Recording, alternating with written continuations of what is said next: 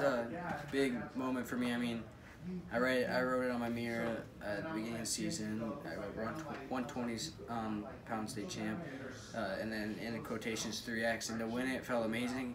Giving my dad, Coach Richard back a hug, and then running up to my mom, sisters, and that whole crowd just yelling my name when I came up was just very, very surreal feeling. Uh, I mean, it was crazy. Like Cooper said, like at first we were all like, "What just happened?" I mean, Paulo just won a life, like just won us the state championship. Like he was on our team, but he's not even on our team. He's from Skyview, so it's just kind of crazy. And then like when we went home, I like my mom, my mom, my sister were like, "You finally did it," and we are all like, "Yeah." Like we we couldn't, we didn't know what to do. We can't take it in yet because it's like still like setting. And then I think on Sunday it finally set for us, and we're like, "Wow, we're actually team state champs." And you know, just like Flathead was the two-time defending state champ. I mean, like in my head, I didn't. At first, I didn't think we were gonna do it. I didn't know if we could.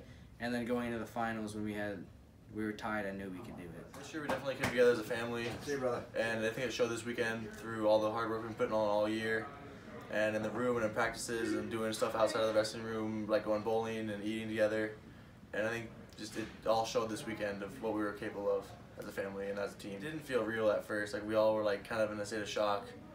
Where uh, when Paulo got that win, we all just stood up and we were going crazy and hugging each other. Chris and I were shaking each other around. It was it felt surreal in the moment. Yeah, we we battled really well. We um our our uh, everyone contributed this year.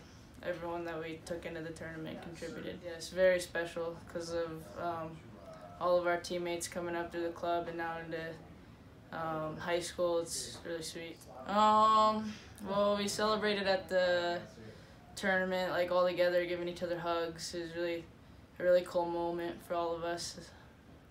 Um, from here, it's probably um, Virginia Beach and um, then getting into our uh, freestyle and Greco tournaments like Fargo.